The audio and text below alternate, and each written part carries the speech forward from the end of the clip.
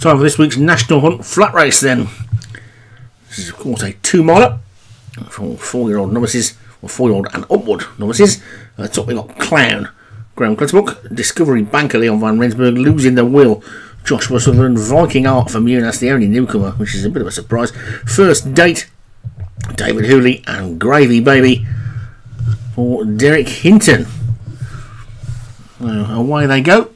No hurdles, no fences, no stalls, two more race. And looking, losing the will is looking to be the one who's going to take them along, I think. Pulling for its head wants to go a little bit quicker.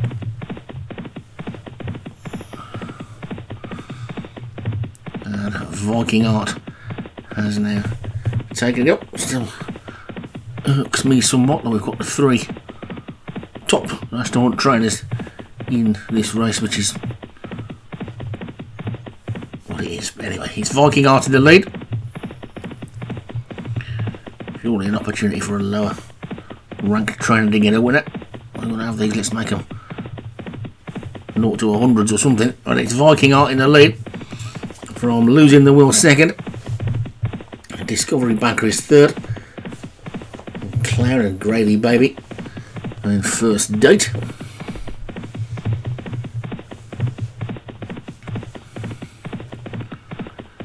Viking Art's the leader.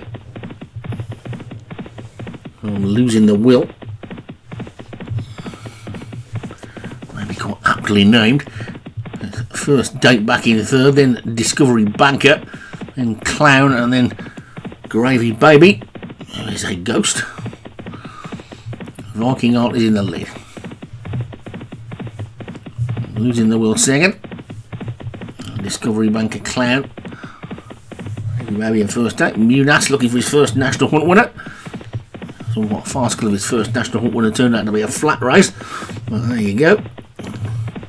Throw a few horses in to the jumps to see how it works.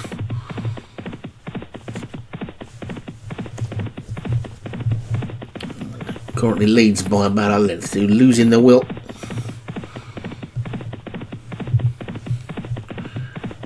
Who's now taking it up again.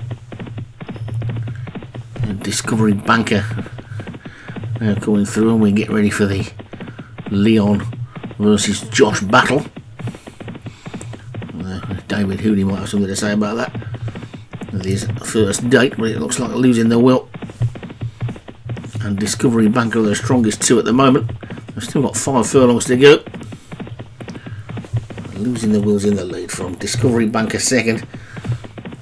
And on the outside is Clown and Gravy Baby and first date is next Viking artist dropping away pretty quickly and it's losing the will. Now he's in the lead by two lengths? There's still three furlongs to go. And losing the will in the lead. Um, Gravy Baby is just about second now Discovery Banker's not quickened up at all. First date has gone into third losing the will. Now being challenged by Gravy Baby. There's still a full and a half to go. And Gravy Baby is now coming up alongside losing the will here. And Gravy Baby's taking it up. And Gravy Baby is in the lead. Could Gravy Baby be the first ghost horse to win in SO7? And it's Gravy Baby who's causing a bit of a surprise here. And Gravy Baby takes it. Close for second, just losing the will. Then Clown. And a pretty impressive performance from the horse that died in the first week of the season to take that one. It's week two, I think. But anyway, Gravy Baby. It's never over. But it's over. And even then it isn't over. Gravy Baby wins it for Derek Hinton. Losing the will, Joshua Sullivan second. First date, David Hooley third. Clown for Graham Clutterbuck fourth. And Discovery Bank for Leon Van Rensburg is fifth. And now, for the first time this season, a return to the commentary box for your friend of mine, the Housewives favourite, Mr. Stu Gray.